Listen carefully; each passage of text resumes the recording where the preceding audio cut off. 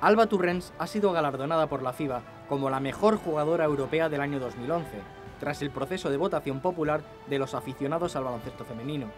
Alba, que consiguió tal distinción, otorgado hace unas semanas por el diario deportivo La Gacheta de lo Sport, en esta ocasión logró más de 17.000 votos, superando con mucho a la pívot rusa María Stepanova, la segunda más votada, que se quedó con poco más de 6.000.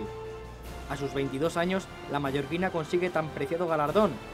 con sus logros la pasada campaña con su club, el Perfumerías Avenida, al que ayudó con 15,8 puntos y más de 4 rebotes de media a lograr la Liga Nacional y la Euroliga. En la actualidad sigue de baja tras su grave lesión de rodilla en su actual club, el Galatasaray turco.